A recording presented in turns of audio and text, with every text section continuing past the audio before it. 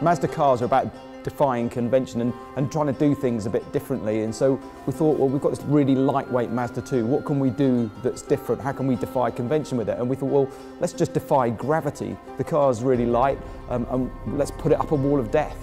When I, when I got the call to put a modern car on the wall, the first thing is you think, is somebody taking the mick? But then you always think, oh, yeah, I could do that.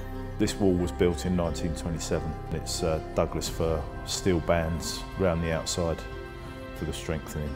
We, we're pulling three to four Gs up there um, and uh, the bands have only got a certain tolerance so we've had to uh, put extra bands on uh, to allow for that.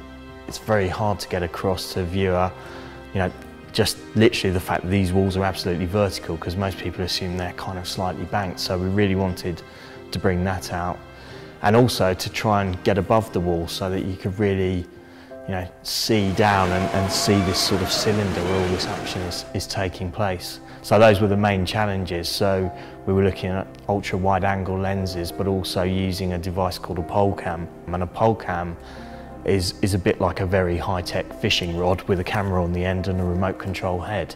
But what it enabled us to do was to to, to zoom around the wall of death and almost defy gravity with the camera. It's the really challenging bit, getting the car from the, from the horizontal, sort of up 45 degrees and then onto the vertical. Um, and that's where we thought, you know, we might have a, a bit of a problem. Uh, so we did some small modifications to the car. We raised it up as high as we could, put bushes in the suspension to lift it. Filling it out with bump stops so that so the suspension is rigid and obviously gives us the maximum ride height. Basically that, that just goes around the piston so there is actually no movement on the damper at all. How, how high up do you think you can get? Oh, just below the red line probably. maybe, maybe that high. So I could do what they used to do in the old rally days and touch the car as it comes past? Yeah, well, you, can, you can throw me money if you want.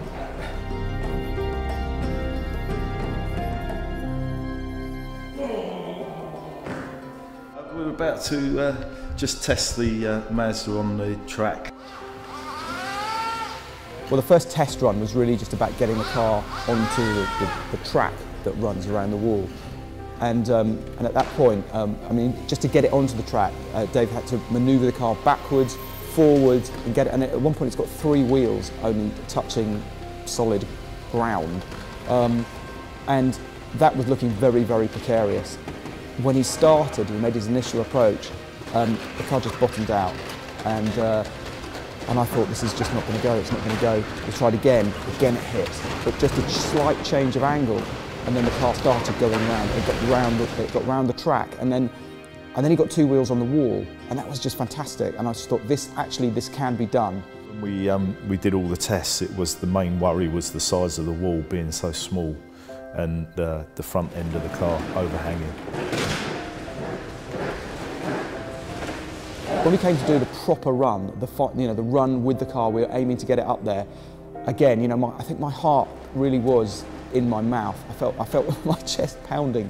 I'm not even doing it, but I'm stood at the top of the wall, watching the car build up speed, um, accelerate around, change to second gear, get two wheels up on the wall, and then suddenly he's vertical. He's going around this this insane sort of track completely at 90 degrees to the ground.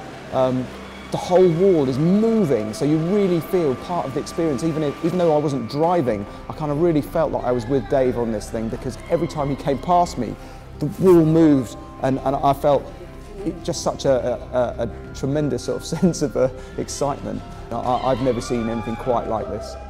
It does become a blur and it's you're in the zone and you'll come down and you'll forget what you've done a couple of seconds ago.